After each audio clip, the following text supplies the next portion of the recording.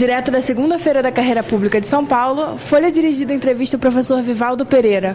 Professor, o senhor deu uma, uma palestra sobre como otimizar a preparação para concursos públicos. De que forma o candidato pode fazer isso?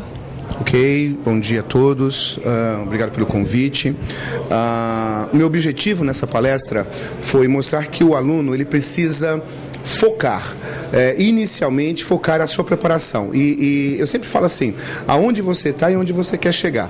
De nada adianta você querer entrar no mundo público é, só pensando em benefícios. Tem que pensar inicialmente em como se preparar para se tornar um candidato competitivo para ingressar nesse mundo público aí. Os benefícios vêm como consequência, tá? Então na palestra eu procurei mostrar para o pessoal e até é, desmistificar essa dificuldade que se imagina ter para ingressar no concurso. As exigências são muitas.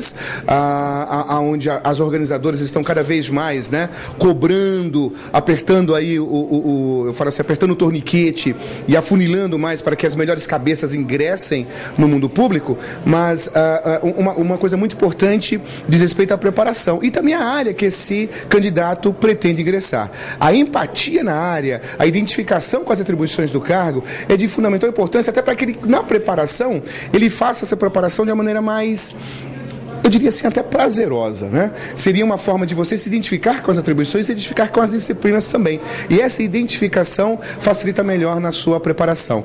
É, esse foi o meu primeiro, minha primeira orientação quando iniciei a palestra lá. E professor, como é que o senhor vê a iniciativa da Folha Dirigida de promover essa feira da carreira pública para debater uh, o concurso público, que é a forma mais democrática de ingresso no serviço público? A Folha é uma parceira. A Folha ela faz muita coisa que se nós de forma sozinhos, os professores, cursinho e tal, tivesse que fazer para disseminar, para fomentar, para é, informar, é, é, para dar as informações precisas, corretas, em às vezes eu chamo até de real time, né? Quando entra lá na, na, na no site da Folha. A Folha também tá muito bem informada, muito bem linkada. Então, na outra edição, falei a mesma coisa.